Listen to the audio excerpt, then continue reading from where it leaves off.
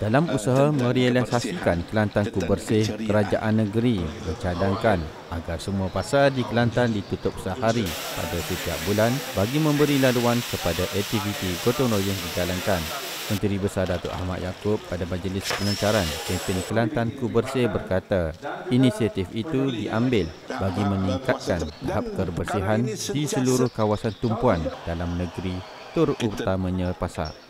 Menurutnya, perbincangan lanjut akan diadakan bersama pihak Persatuan Peniaga berkenaan proses penutupan urus niaga pasar di Kelantan. Exco Kerajaan Tempatan Perumahan dan Kesihatan Negeri Dr. Isani Hussein turut hadir dalam program yang berlangsung di dataran Bandaraya pada 22 April lalu.